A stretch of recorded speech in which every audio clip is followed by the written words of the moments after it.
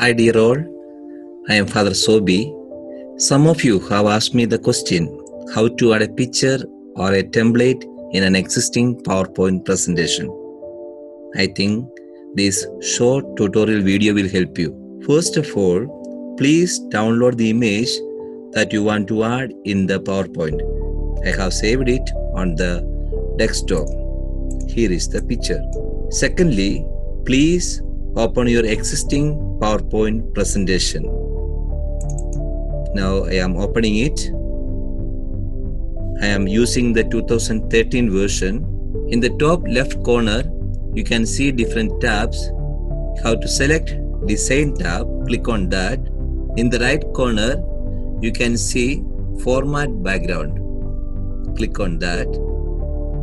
In the Format Background, there are different options. You have to select Picture or Texture Fill.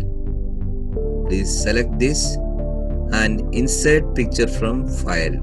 Please click on the file.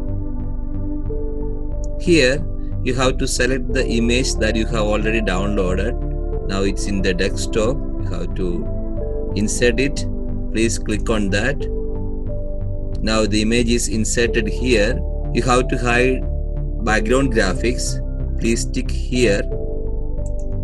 Now the image is more visible. Now you have to apply the same image to all your slides. So please select the bottom there is an option apply to all. Click on that. Now the image is applied to all the slides. Please go through the slides. You can see the image. And in some slides, you have to arrange the matter according to your uh, slide. Now your old PowerPoint presentation is ready with the present template. Thank you so much.